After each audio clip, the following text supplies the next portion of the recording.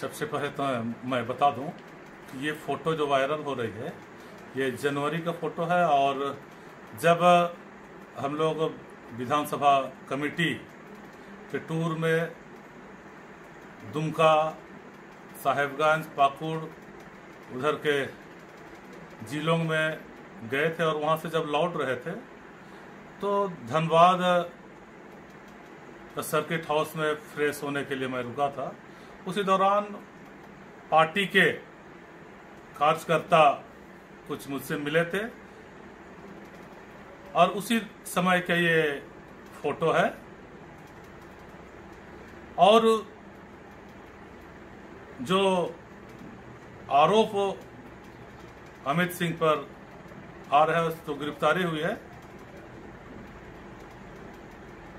इसको मैं व्यक्तिगत तौर पर नहीं डालता हूँ। भीड़ में लोग मिले, फ़ोटो खिंचाए। ऐसा मेरे साथ हमेशा होता रहा है। किसी भी जिला में जाते हैं, हमारे कार्यकर्ता फ़ोटो खिंचाते हैं और उनको हम नाराज़ नहीं करते हैं, फ़ोटो खिंचाते हैं। रही बात सरकार गिराने की नियत से जो षड्यंत्र रचा जा रहा है, विधायकों को खरीदने की बात आ रही है। इस संबंध में मैं जनवरी फरवरी में ही हमारे सीएलपी लीडर और प्रदेश अध्यक्ष को और हमारे प्रभारी आए थे। उन समय में हमारे पार्टी के इन सुप्रीमो जो हमारे प्रमुख पदाधिकारी हैं, उनको मैंने जानकारी दी थी कि शुरुआती दौर में तो मेरे करीबी कार्यकर्ताओं से लोग मिल के उनको प्रस्ताव दे रहे थे। वहाँ नाकाम हुए तो फिर काम के बहाने से मुझसे लोग मिलते थे और अपना प्रस्ताव लेके रखते थे। एक बार तो मेरे पास लोग काम के बहाने आए, मिले और हेवी अमाउंट का प्रस्ताव लाए और मेरे सामने उसको रखा भी था। मैंने उन्हें डांट फटकार कर भगाया। उनका प्रस्ताव साफ़ था कि सरकार आप लोगों के हित में काम नहीं कर रही है। आप लोग क्यों इस पार्टी में हैं? आप लोग अपना एक अलग पार्टी बनाइए। आप लोगों को मंत्री के पद से विभूषित किया जाएगा। और आप लोगों को मनचाहा रकम देने की बात आई थी। और मेरे सामने वो पैसा भी लाया गया था, जिसे मैं डांट कर भगा दिया था। और इन सभी चीज़ों की जानकारी मैं अपने आला पदाधिकारियों को बता दिया था।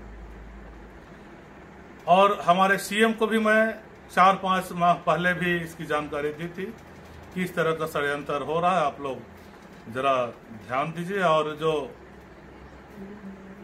नाराज़गी है विधायकों का, उन सभी चीज़ों पर भी विशेष ध्यान हो, ताकि इस तरह का माहौल ना बने।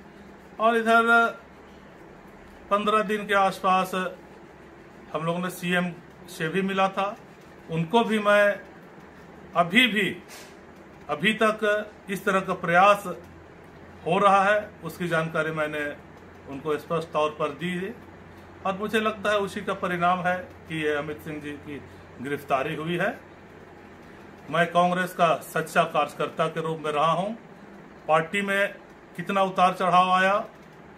मैं उन्नीस सौ अंठानबे से पार्टी का सक्रिय कार्यकर्ता के रूप में रहा हूँ, यानी का अध्यक्ष रहा हूँ, जिला अध्यक्ष रहा हूँ, आदिवासी कांग्रेस का अध्यक्ष रहा हूँ, जिला में भी पदधारी रहा हूँ, और हमारे सीनियर लीडर जो हमारे सिमडेगा क्षेत्र के थे, वे पार्टी बदले, लेकिन हम लोग स्थिर रहे।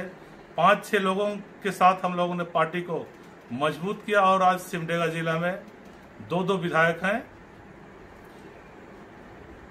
इसीलिए मैंने अपने कर्तव्य को, अपनी जिम्मेवारी को निभाते हुए इस तरह के प्रयासों की जानकारी हमारे मुख्यमंत्री जी को और हमारे पार्टी के सभी सीनियर लीडरों को मैं समय समय पर देता रहा हूँ।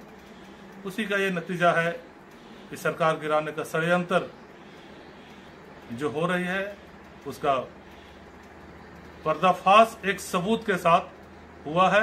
हमारे माननीय मुख्यमंत्री जी को मैं धन्यवाद देता हूँ कि वे बेहद गंभीरता से हम सबों की बातों को लिए और इस तरह का कार्रवाई करके आज आदिवासियों का समर्थक और आदिवासियों का उम्मीद का इस सरकार को बचाने के लिए और षड्यंत्र को विफल करने के लिए जो काम किया है, इसके लिए मैं उनको भी बहुत बहुत धन्यवाद और बधाई देता हूँ। मैं, हमारे जनता से भी भी बताना चाहूँगा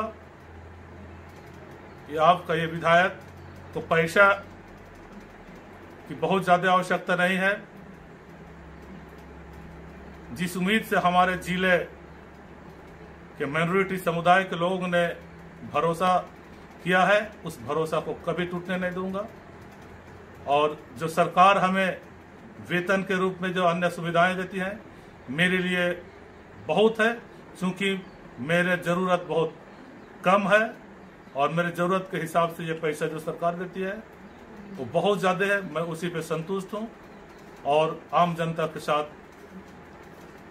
मैं कभी धोखा नहीं करूँगा, ये मेरा भरोसा और विश्वास मैं दिलाता हूँ। सबों को धन्यवाद और जोहार। न्यूज़ अपडेट के लिए आप हमारे चैनल को सब्सक्राइब करें। आप हमें फेसबुक और इंस्टाग्राम पर भी फॉलो कर सकते हैं। बने रहे लगातार डॉट इन के साथ।